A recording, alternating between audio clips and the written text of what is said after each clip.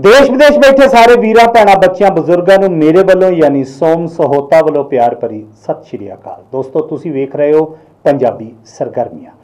ਪੰਜਾਬੀ ਸਰਗਰਮੀਆਂ ਦੇ ਤਹਿਤ ਅੱਜ ਗੱਲਬਾਤ ਲਈ ਚੱਲਦੇ ਹਾਂ ਸ਼੍ਰੀ ਮੁਕਤਸਰ ਸਾਹਿਬ। ਜਿਵੇਂ ਤੁਸੀਂ ਜਾਣਦੇ ਹੋ ਕਿ ਮਾਨਯੋਗ ਡੀਸੀ ਸਾਹਿਬ ਨੇ ਇੱਕ ਪ੍ਰੈਸ ਨੋਟ ਰਾਹੀਂ ਮਤਲਬ ਸ਼ਰਾਬ ਦੀ ਬੁਨਿਆਦੀ ਬਾਰੇ ਗੱਲਬਾਤ ਕੀਤੀ ਹੈ ਕਿ ਉਹ ਸ਼ਰਾਬ ਦੀ ਜਿਹੜੀ ਵਿਕਰੀ ਹੈ ਉਹ ਵੱਧ ਸਕੇ ਔਰ ਜਾਂ ਉਹਨਾਂ ਲੋਕਾਂ ਤੱਕ ਇਹ ਖਬਰ ਪਹੁੰਚ ਸਕੇ ਔਰ ਲੋਕਾਂ ਤੱਕ ਖਬਰ ਪਹੁੰਚਾਉਣ ਵਾਸਤੇ ਮੀਡੀਆ ਤੋਂ ਇਲਾਵਾ ਉਹਨਾਂ ਨੇ ਧਾਰਮਿਕ ਸਥਾਨਾਂ ਦਾ ਵੀ ਜ਼ਿਕਰ ਕੀਤਾ ਹੈ। ਲੇਕਿਨ ਅਸਲ ਵਿੱਚ ਪੂਰੀ ਖਬਰ ਹੈ ਕੀ ਹੈ?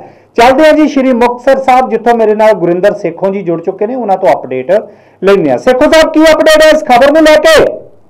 ਸਰ ਇੱਕ ਮਿਤੀ 5/5/20 ਨੂੰ ਡੀਸੀ ਸਾਹਿਬ ਨੇ ਇੱਕ ਪੱਤਰ ਜਾਰੀ ਕੀਤਾ ਸੀ। ਪੱਤਰ ਨੰਬਰ 28502882 ਜੀ। ਜਿਸ ਵਿੱਚ ਉਹਨਾਂ ਨੇ ਲਿਖਿਆ ਗਿਆ ਸੀਗਾ ਵੀ ਸ਼ਰਾਬ ਦੀ ਜਿਹੜੀ ਵਿਕਰੀ ਆ ਹੋਮ ਡਿਲੀਵਰੀ ਰਾਹੀਂ ਹੋਊਗੀ। ਤੇ ਇਹਦੇ ਜਿਹੜੇ ਆਰਡਰ ਫਾਲੋ ਕਰਾਉਣ ਵਾਸਤੇ ਧਾਰਮਿਕ ਸਥਾਨ ਜਿਵੇਂ ਗੁਰਦੁਆਰਾ ਸਾਹਿਬ ਹੋ ਗਏ ਮੰਦਿਰ ਸਾਹਿਬ ਹੋ ਗਏ ਵੀ ਇਹਨਾਂ ਦੇ ਅਨਾਉਂਸਮੈਂਟ ਕਰਾਈ ਜਾਵੇ ਕਿ ਵੀ ਜਿਹੜੀ ਸ਼ਰਾਬ ਦੀ ਵਿਕਰੀ ਆ ਉਹ ਹੋਮ ਡਿਲੀਵਰੀ ਹੋਮ ਬॉय ਤੁਹਾਨੂੰ ਜਿਹੜੀ ਘਰੇ ਪਹੁੰਚਾਉਣਗੇ। ਲੇਕਿਨ ਸੇਖੋਂ ਸਾਹਿਬ ਇਹ ਆਪਣੇ ਆਪ ਵਿੱਚ ਬਹੁਤ ਵੱਡਾ ਬਿਆਨ ਹੈ। ਮਤਲਬ ਧਾਰਮਿਕ ਸਥਾਨਾਂ ਦੇ ਵਿੱਚ ਜਦੋਂ ਅਨਾਉਂਸਮੈਂਟ ਹੋਏਗੀ ਤਾਂ ਨੈਚੁਰਲੀ ਕੀ ਕੀ ਮਹਿਸੂਸ ਕੀਤਾ ਜਾਏਗਾ? ਸਰ, ਜਿਹੜੇ ਉਹ ਅਕਾਲੀ ਵਰਕਰ ਨੇ ਜਾਂ ਅਕਾਲੀ ਖੁਦ ਨੇ, ਉਹਨਾਂ ਨੇ ਬਹੁਤ ਵੱਡਾ ਇਤਰਾਜ਼ ਕੀਤਾ ਵੀ ਇਹ ਜਿਹੜੀ ਮਿਸਟੇਕ ਹੋਈ ਹੈ ਵੀ ਇਹਦੇ ਤੇ ਕੋਈ ਐਕਸ਼ਨ ਲੈਣਾ ਚਾਹੀਦਾ। ਪਰ ਅੱਜ ਇੱਕ ਪ੍ਰੈਸ ਨੋਟ ਹੋਰ ਜਾਰੀ ਹੋਇਆ, ਜਿਸ ਵਿੱਚ ਡੀਸੀ ਸਾਹਿਬ ਨੇ ਆਪਦੀ ਗਲਤੀ ਜਿਹੜੀ ਹੈ ਮਹਿਸੂਸ ਕੀਤੀ ਉਹਨਾਂ ਨੇ ਉਹਨਾਂ ਨੇ ਮਾਫੀ ਮੰਗੀ ਹੈ ਇਸ ਗੱਲ ਦੀ ਵੀ ਇਹ ਕੋਈ ਮਿਸਟੇਕ ਹੋ ਗਈ ਹੈ ਸਾਡੇ ਨਿਓ ਤੇ ਇਹੋ ਜਿਹਾ ਕੰਮ ਨਹੀਂ ਹੋਊਗਾ।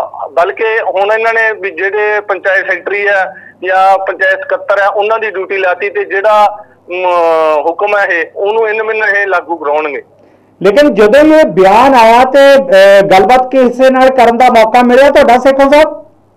ਸਰ ਸਰ ਕਈ ਅਕਾਲੀ ਵਰਕਰ ਸੀ ਉਹਨਾਂ ਨਾਲ ਸਾਡੀ ਗੱਲਬਾਤ ਹੋਈ ਉਹਨਾਂ ਦਾ ਇਹੀ ਕਹਿਣਾ ਸੀਗਾ ਵੀ ਇਹ ਤਾਂ ਬਹੁਤ ਮਾੜੀ ਗੱਲ ਹੈ ਵੀ ਇੱਕ ਪਾਸੇ ਤਾਂ ਕਰੋਨਾ ਦੀ ਮਹਾਮਾਰੀ ਚੱਲ ਰਹੀ ਹੈ ਤੇ ਇੱਕ ਪਾਸੇ ਡੀਸੀ ਸਾਹਿਬ ਇਹੋ ਜਿਹੇ ਆਰਡਰ ਕਰ ਰਹੇ ਨੇ। ਪਰ ਫਿਰ ਵੀ ਉਹਨਾਂ ਨੇ ਡੀਸੀ ਸਾਹਿਬ ਨੇ ਆਪਦੀ ਜਿਹੜੀ ਉਹ ਗਲਤੀ ਮੰਨਦੇ ਹੋਏ ਅੱਜ ਇੱਕ ਨਵਾਂ ਪ੍ਰੈਸ ਨੋਟ ਜਾਰੀ ਕਰ ਦਿੱਤਾ ਗਿਆ। ਦੋਸਤੋ, ਪਹਿਲਾਂ ਇੱਕ ਪ੍ਰੈਸ ਨੋਟ ਜਾਰੀ ਹੁੰਦਾ ਹੈ ਕਿ ਜਿਸ ਦੇ ਵਿੱਚ ਬੁਨਿਆਦੀ ਦੀ ਗੱਲਬਾਤ ਕੀਤੀ ਜਾਂਦੀ ਹੈ ਤਾਂ ਕਿ ਹੋਮ ਡਿਲੀਵਰੀ ਜਿਹੜੀ ਹੈ ਸ਼ਰਾਬ ਦੀ ਕੀਤੀ ਜਾਏਗੀ।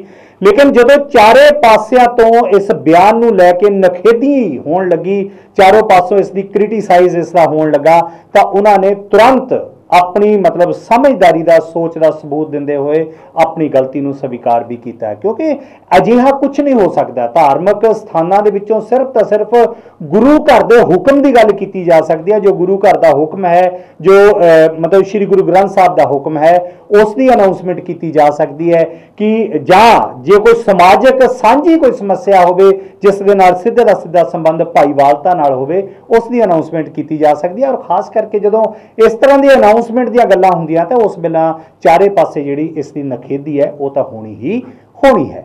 ਲੇਕਿਨ ਉਸ ਤੋਂ ਬਾਅਦ ਇੱਕ ਹੋਰ ਪ੍ਰੈਸ ਨੋਟ ਆਉਂਦਾ ਹੈ, ਜਿਸ ਦੇ ਵਿੱਚ ਮਾਨਯੋਗ ਡੀਸੀ ਸਾਹਿਬ ਨੇ ਇਸ ਗੱਲ ਦਾ, ਮਤਲਬ ਆਪਣੇ ਆਪ ਨੂੰ ਬੜਾ ਸੋਚ ਸਮਝ ਕੇ ਮਾਫੀ ਵੀ ਮੰਗੀ ਹੈ ਕਿ ਇਹ ਜੋ ਹੋਇਆ, ਉਹ ਬਹੁਤ ਗਲਤ ਹੋਇਆ।